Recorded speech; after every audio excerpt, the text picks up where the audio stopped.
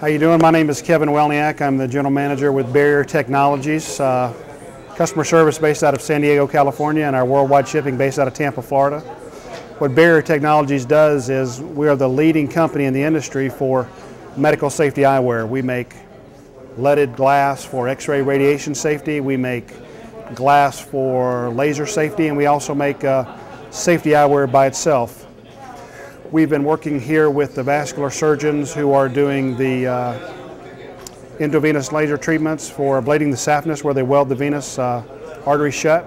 During the process when uh, the physicians, the vascular surgeons, interventional radiologists, dermatologists are doing the uh, endovenous laser treatment, should any of the radiation that's emitted by the laser beam be transmitted into the room, the glasses that we sell will protect their eyes from any damage from laser beam.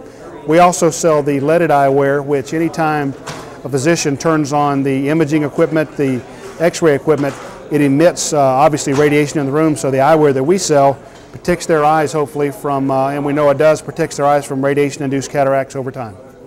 That's what Barrier Technologies does.